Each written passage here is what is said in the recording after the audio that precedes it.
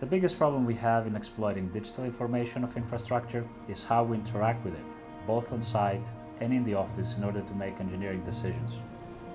We've never been able to bring 3D models of buildings and bridges off our screens and onto the real structure, or in full scale into our working environment.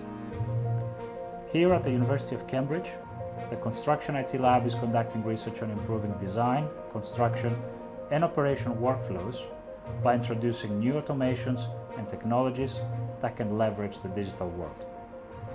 Using mixed reality, we are now able to bring a copy of the physical asset into our office.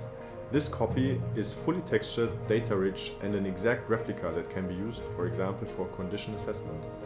Inspectors can use this to find problems and assess their impact on the structure.